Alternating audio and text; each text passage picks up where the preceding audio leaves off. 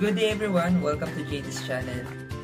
Today, we're going to discuss another topic and I'm so excited to share it with you. Don't forget to like, share, and subscribe for more tutorials. Thank you and God bless.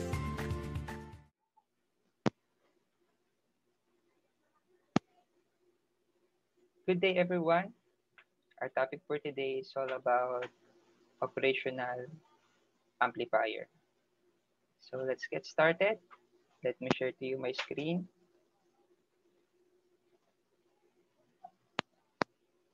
Okay, here we go.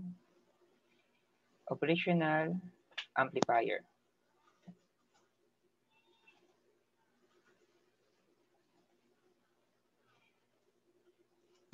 So again, I'm Engineer Jonas, your guest lecturer for this topic. For the introduction, having learned the basic laws and theories for circuit analysis, we are now ready to study an active circuit element, which is the operational amplifier, or the op-amp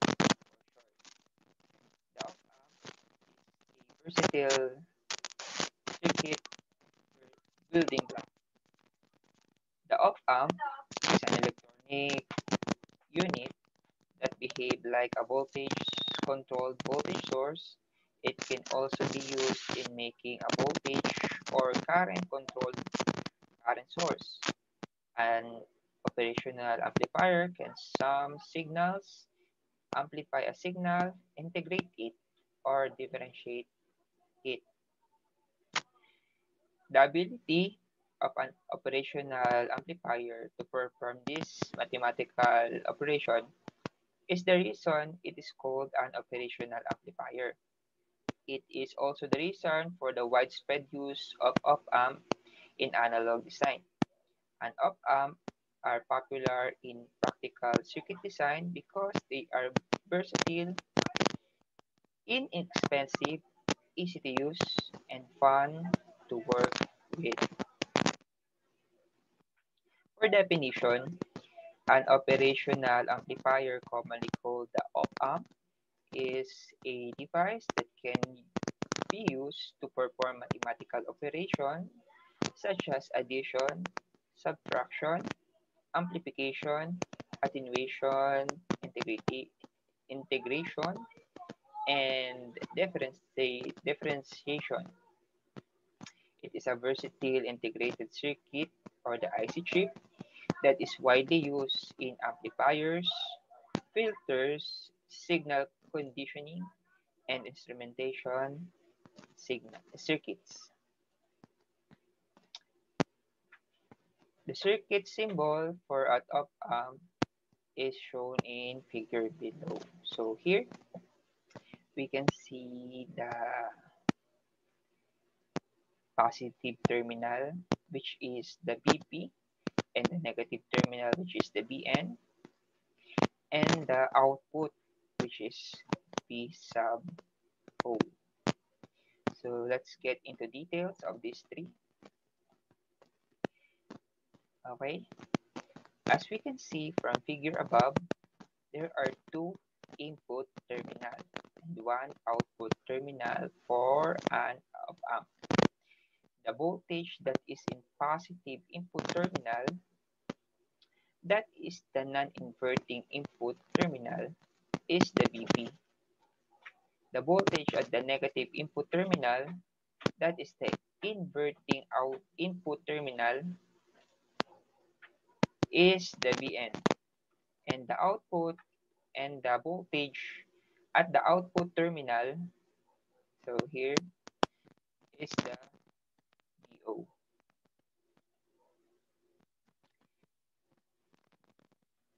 Figure below is the 8-pin or the pin configuration of typical 8-pin package. So, shows the, yun nga, so yung ating pin configuration for the typical 8-pin package. So, here we can see that pin number 2, which is the inverting output terminal. And the pin number 3 is the non inverting input terminal. The, out, the output signal is available at pin number 6. So here it is. And the pin number 7 is the positive power or positive supply, which is the BCC positive. And the number 4 is the negative power supply, which is the negative or the BCC negative. That is our pin configuration of a typical 8-pin package of amp. Okay, the operational amplifier to facilitate the understanding of operational amplifier circuit, we will assume ideal op amps. The op amps is ideal if it has the following characteristics. So, number one is infinite open loop gain. So our ideal op amp is ha or has an infinite open loop gain. Number two, our ideal op amp has infinite input resistance or the R sub I. And for number three, uh, our ideal op amp has zero output resistance. Okay. So uh, an ideal op amp is an amplifier with infinite open loop gain, infinite input resistance, and zero output resistance.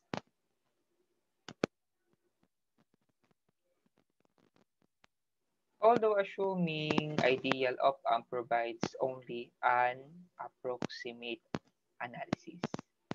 Most modern amplifiers have such large gain and input impedance that the approximate analysis is a good one. Unless stated otherwise, it assumes that every op-amp is ideal. So, ayan. Ideal pa rin ang ating ginagamit. For circuit analysis, the ideal op amp illustrated in figure below. So here, we can see the ideal op amp model. So our BP, our B sub, our B sub N, our BP, and our output. So here, uh, ideal of a model I, I sub 1 is equals to 0, I sub 2 is equals to 0 also, and B sub 2 is equals to B sub 1. So there are two important things or we need to keep in mind to or in solving problems in ideal op amps. So the important properties of an ideal op amps are so first the current into both input terminals are zero so mean to say like what we have the previous slide i sub 1 is equals to 0 and i sub 2 is equals to 0 let's say it is our equation 1 why i sub 1 and i sub 2 is equal to 0. This is true to infinite input resistance. An infinite resistance between the input terminals implies that the open circuit exists there and current cannot enter the op-amp, but the output current is not necessarily zero. So that is the first property of our ideal of amp. The next one or the other one is the voltage across the input terminal is equal to zero also. So RB1 will be equal to B2. Let's say it is our equation B. Does an idea, so why Why it is so? Thus, the ideal op-amp has zero current into its two input terminal and the voltage between the two input will or is equal also to zero. So equation A and equation B are extremely important and should be regarded as the key handle to analyze the op-amp circuit. So, yun lang ang ating nakakatandaan. So, the equation A and the equation B. So, in solving uh, problems with regards to op-amps or the operational amplifiers. So, that is our theory about op-amps. So, let's go to our exercise. Ayan. So, for sample problem, for the circuit shown in figure below, calculate the closed loop gain or the V sub O over the V sub S and also find I sub O when V or the supply voltage is 1 volt. So here is our circuit. So prepare your pen and calculator and also your paper and we will solve this one.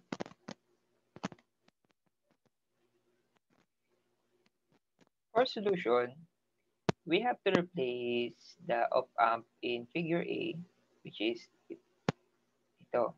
Ito yung ating given circuit. By its equivalent model in figure B. So, ito na siya. Gagawin natin siyang ganito. So, we need to keep Ayun, so yung ating equation A, kanina na tackle, and equation B in mind as we analyze the figure in yan, figure A below. So, ito yung ating original circuit. And then, gagawin natin siyang ganito. So, ano ba yung mga napadagdag? So, yung ating I sub 2 here is equal to 0. I sub 1 is equal to 0. And then, yung ating V sub 2 and V sub 1 and also the flow of current so I sub O so we have here also the flow of current and this one which is in node O so for our solution okay in the figure we notice that uh, B sub S or so B sub 2 is equals to our supply voltage. Okay? As we can see here.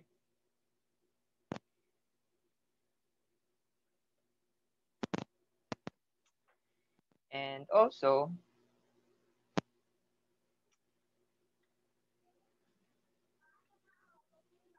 our I sub 1 is equals to 0. And the current flowing from uh, 5 kilo ohms and all in 40 kilo ohms is the I sub 1. Meaning to say, uh, zero na yung ating current dito since I sub 1 yung dumadala dito sa atin na current. And we have uh, B sub O dito, yung kanyang voltage. So kung mapapansin natin, uh, medyo familiar ito ang setup na to. So, ito yung ating uh, setup pag tayo ay gumagamit ng voltage division theorem. So, we can use voltage division theorem in finding yung ating B sub 1. Kasi yung B sub 1, yun yung voltahe dito sa ating 5 kilo ohms. So, as we can see here. Okay pa.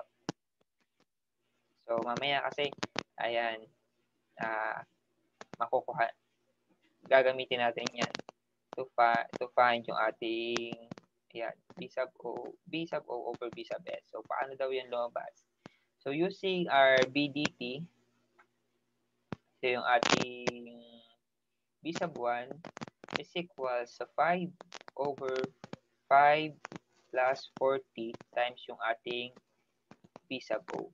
using the voltage division theorem. So, or the voltage division principle. So, yan. So, okay. I-add lang natin and i-divide. So, we will get V sub O over 9. That is RV sub 1. Okay, since our condition in equation A and equation B, so equation A is I sub 1 is equals to 0, I sub 2 is equals to 0, and equation B is B sub 2 is equals to B sub 1. So again, yun ang sabi sa atin kanina sa theory that we need to keep in mind those two equations. Yun yung gagamitin natin dito. So we have the value of B sub 1 which is B sub O over 9.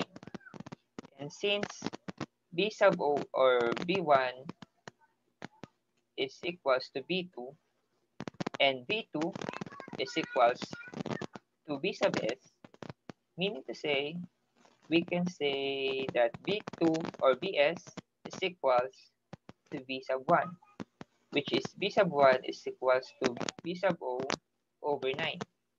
So, ayan po. So, B sub S is equals to B sub O over 9. And then, i-arrange lang natin, we will get the B sub O over B sub S, which is 9. So, ito yung una nating hinahanap. Yung ating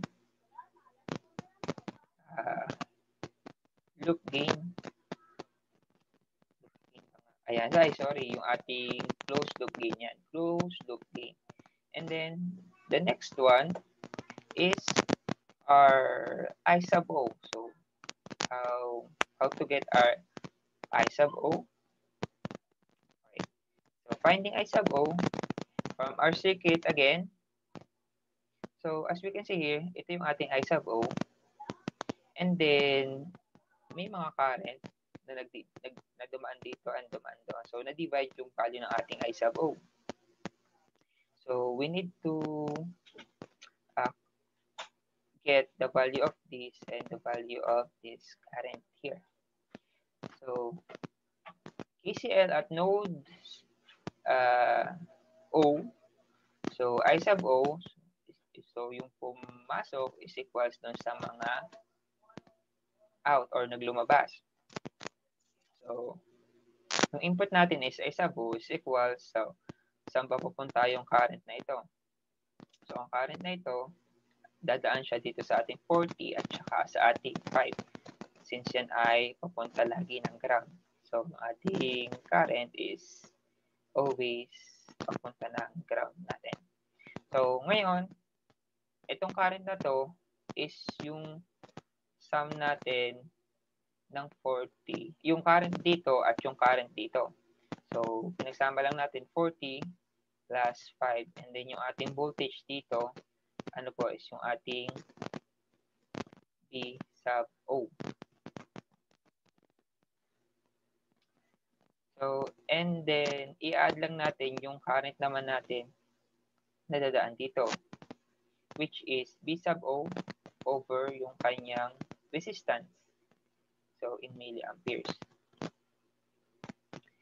Okay. So, we need to substitute the value of P sub O. Okay.